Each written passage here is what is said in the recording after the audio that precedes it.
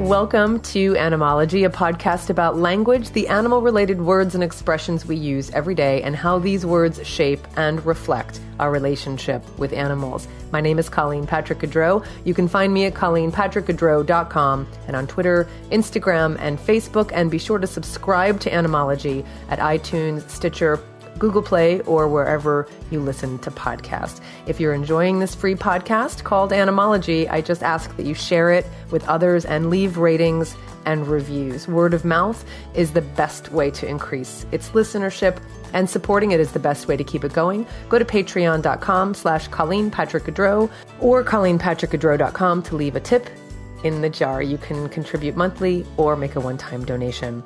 Today's episode is Animals in Our Bones, animal derived anatomy terms.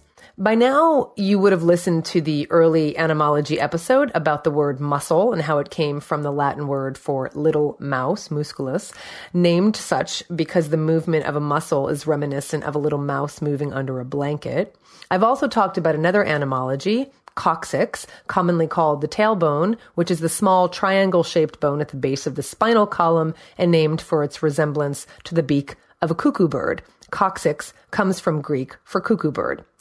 And in a former episode on the word tragedy, we talked about how a bit of our ear is called the tragus from the Greek word tragos, meaning goat. Having shared those with you thus far, I thought it would be fun to focus an entire episode on the number of terms for parts of our anatomy that have animals hiding within. Let's start with the cornea, the transparent membrane covering the surface of the eye. The word cornea comes from the Latin word cornu, meaning horn. Because delicate though it seems, this tissue is surprisingly hard, like an animal's horn.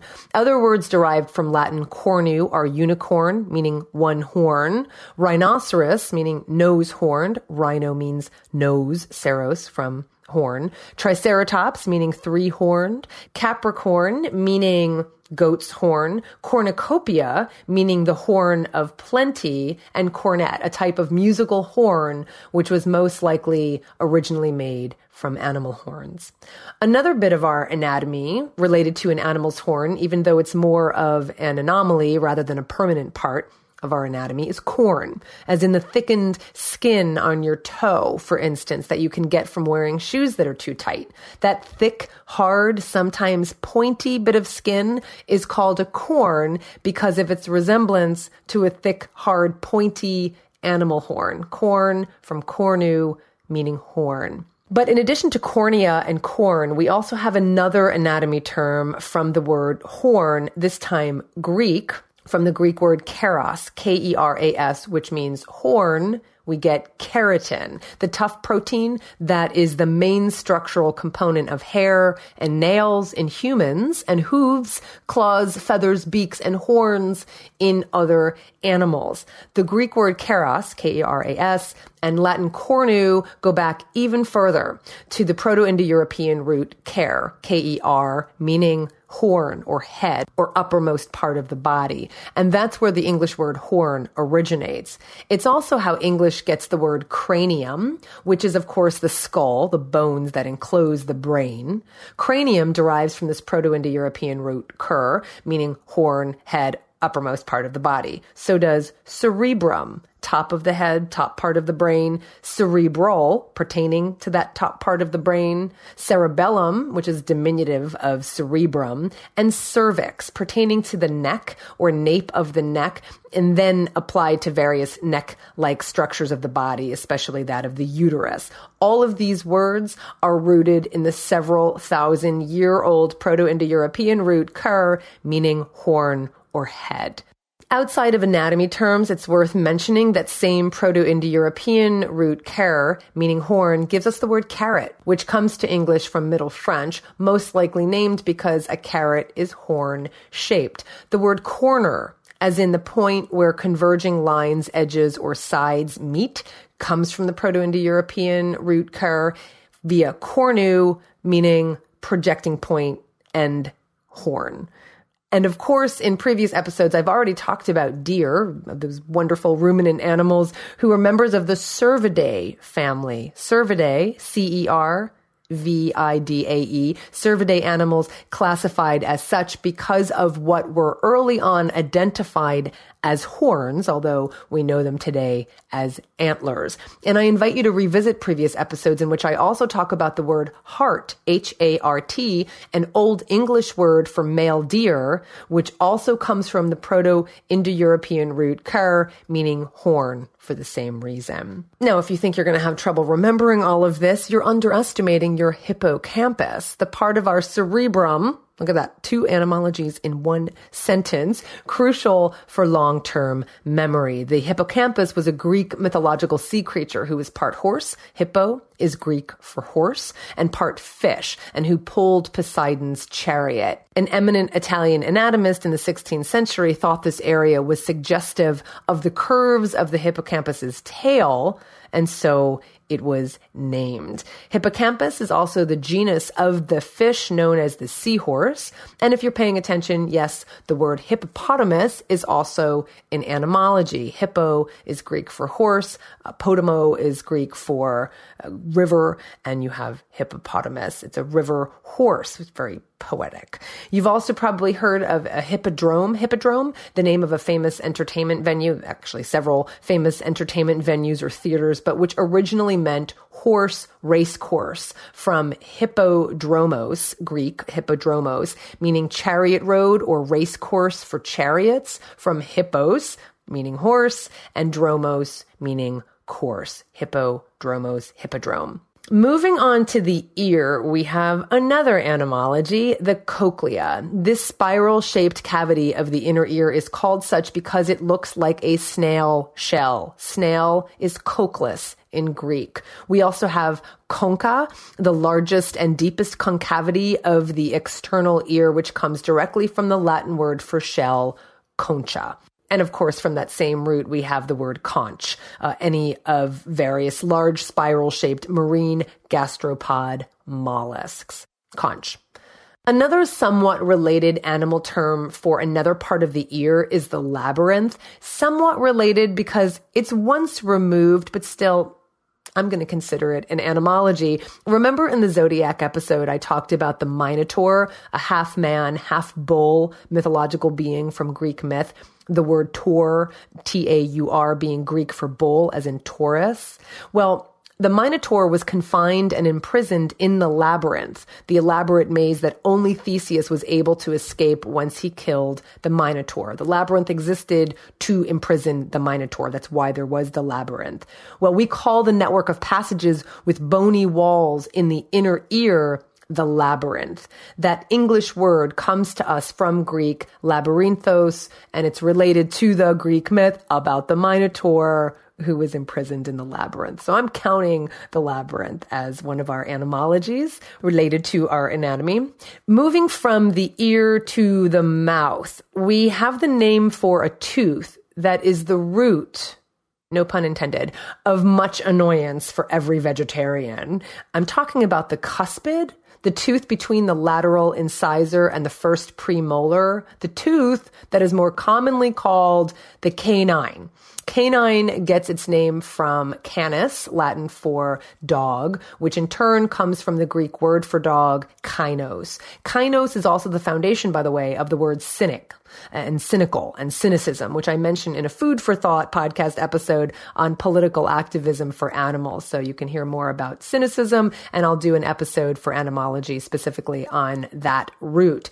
The reason I say this tooth and the word for this tooth is an annoyance for every vegetarian is because it's often what people point to to defend consuming animal based meat. If we weren't meant to eat animals, why do we have canine teeth? People say. Well, first of all, teeth are not used only for eating flesh or even just for eating. Gorillas eat a lot of heavy twigs and bark, which requires really tough teeth, particularly molars to grind all that tough plant material.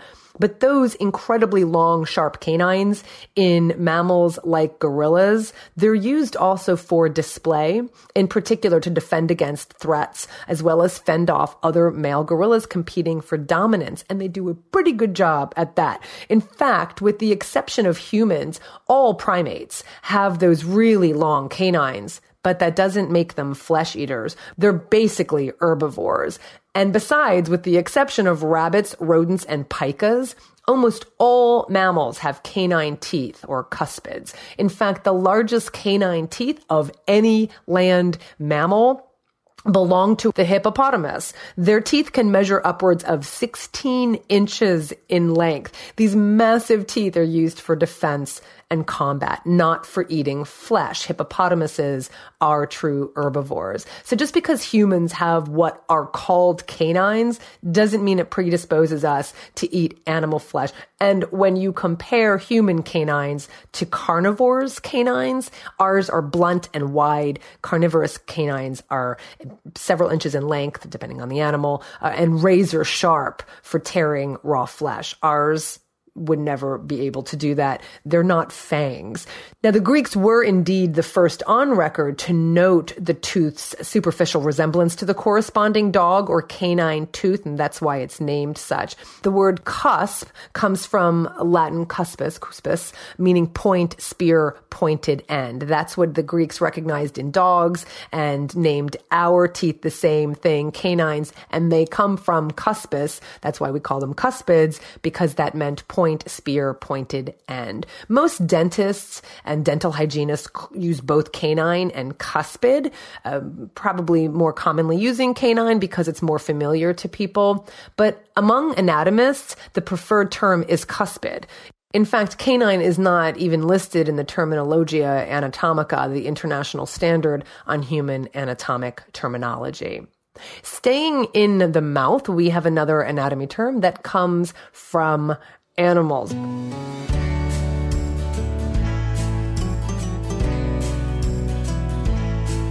But first, a quick thank you to all of you for listening and for supporting this work. Your support makes all of it possible. Thank you so much to our platinum supporters, to our gold supporters, our silver supporters, everyone at every level. And remember, supporters at $10 and above receive written transcripts to every Food for Thought episode and every animalogy episode. So if you're getting anything out of either podcast or my work in general, please consider becoming a supporter. Today, visit patreon.com slash Colleen Patrick Goudreau or just visit ColleenPatrickGoudreau.com and click on the donate button. Thank you so much. The buccinator is a thin, broad muscle forming the wall of the cheek. Well, both cheeks, because our face is symmetrical. So there are two buccinators, one on each side. If you purse your lips and blow, you'll notice these cheek muscles, the buccinators, become puffed out. The buccinator is also one of the muscles used for chewing, making it important in the process of eating. So it acts to press the cheeks and lips inward against the teeth so the food can be chewed up. So what does this have to do with an animal? Well, the word buccinator comes from Latin buccinator, trumpeter, from Latin buccina, meaning horn or trumpet. From Latin bos, B O S, meaning cow, plus canere, C A N E R E, meaning to sing or to play. And both of those Latin words, bos and canere, come from older Proto Indo European roots. If you remember from the episode Animal Characteristics in Word Histories, who they are in what we say, Proto Indo European kan, K A N, meant to sing, and it's the root of the word hen and possibly cock, referring to a common characteristic of these male and female birds. So just as when you purse your lips and blow, your cheeks puff out, so too is the case for trumpet players when they blow into their instrument. Jazz legend Dizzy Gillespie was famous for his contributions to jazz and for the contortions his face made while playing the trumpet. If you just do a Google search for Dizzy Gillespie, uh, you'll see images of his neck and cheeks puffing out so much. It looks like someone attached a bike pump to them. His cheek muscles, especially, are so flexible. Apparently, with repeated and heavy use, the mouth's buccinator muscles that line the cheeks can stretch. It's common enough that ballooning cheeks are sometimes called glass blower's disease on account of the occupational practice of forcing air through a metal pipe repeatedly. And that's what happens to trumpet players like Gillespie. They use their cheek muscles so much they become stretched. We'll continue to talk about words from bos, meaning cow or ox, such as bucolic, bugle, bull, bovine, buffalo, buckaroo, butter, even bulimia. So stay tuned for a future episode on all of those words and more. But for now, just remember that the buccinator muscles help us blow, and as a result, we can make a bellowing sound just like a cow. Moving down from our mouth, we have another bone shaped like a beak that gives us its name. Like coccyx, a triangle shaped bone, aka the tailbone, which is named after the beak of a cuckoo bird, the coracoid is a bone that extends from the scapula to or toward the sternum. And it comes from the Greek word koron, um, K-O-R-O-N-E, meaning crow, plus O-I-D-E-S, meaning shape or form. The coracoid was named by Galen in the second century AD for its resemblance to the beak of a crow or a raven. Some people say it doesn't look like that at all, but that's where we get its name for its resemblance to uh, a corvid's beak. A corvid being the family of birds, the crows, ravens, and jays. And if I had to pick I would say that this is my favorite family of birds. Not that I have to pick. You don't have to pick. But I love crows and I love ravens and I love jays. And I will be doing more episodes on expressions and words from crow and raven and jay. And we have so many. And of course, we already have the episode Eating Crow. Try humble pie instead. But many more are in the can. Moving on, we also have a few less scientific terms for parts of our anatomy inspired by animals. We have cowlick, dewlap, crow's feet, buck teeth, hare lip, goatee, ponytail, pigtails, spider veins, and an old slang term for the legs, gams.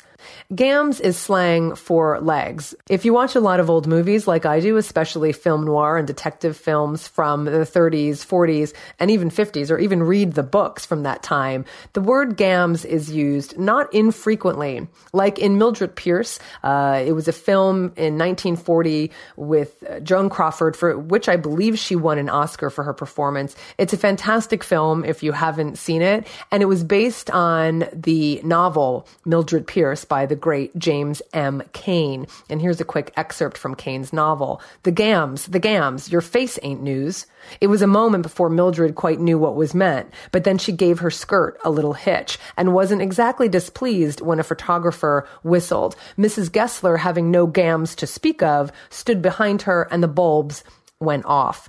Gam, in this sense, is actually much older than James M. Cain. It dates back to at least the 18th century and originally referred to the leg of either sex. But by the 30s, you see it being used mostly to refer to a woman's leg and an attractive one at that. There are two theories about the origin of gam, meaning leg. The shorter and more straightforward one simply traces it to the Italian word gamba, meaning leg, the other theory traces gam to the old word gamb, G-A-M-B, meaning the representation of a leg of an animal on a coat of arms, which comes from the French gamba, uh, G-A-M-B-E, a close cousin of that Italian gamba.